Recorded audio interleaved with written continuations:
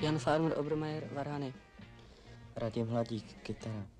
První vlevo Tony Black bicí. Viktor Sodoma, vokál.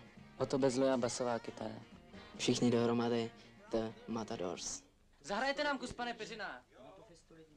No na tu fistuli ti blíž, no já vím, ale víte, že teď jste byli úplně vedle harmonie. Harmonicky, teda.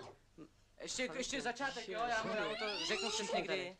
Jo, jak jsi to dělal, jasně. A on co? Ještě jednou, on... Solovi tam vás tam nemám ponese doma vůbec. A ta fistule tam není tak blíž. Ta fistule taky není.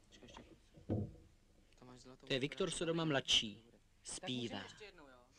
Teď ne zrovna, teď se chystá zpívat. Chystá se nahrávat, je ve studiu, ale jinak zpívá hodně a pěkně zpívá.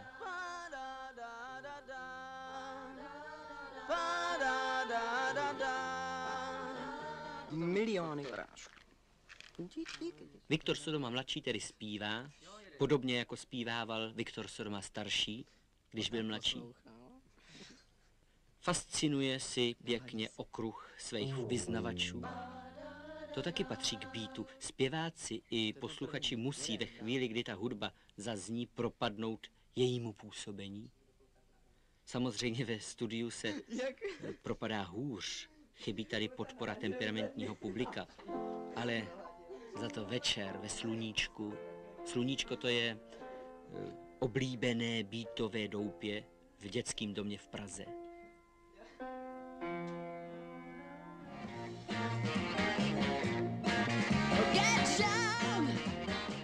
No a jsme ve sluníčku.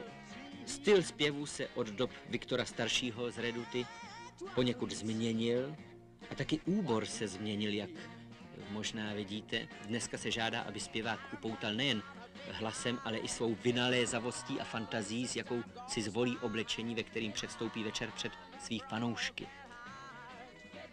Jo, tohle, kdyby vám někdo tvrdil, že tyhle úbory jsou decentní a nenápadný, tak kecá. Jo. Bítový zpěvák je živel provokující, hudba, pro kterou žije, nelahodí starším uším zrovna a oděv s účesem má podobný poslání. Vrstevníci zpěváka to dovedou ocenit náležitě. No a konec konců o nic jiného tady nejde. One, two, three. I love you till the end. Together I'd like to kiss your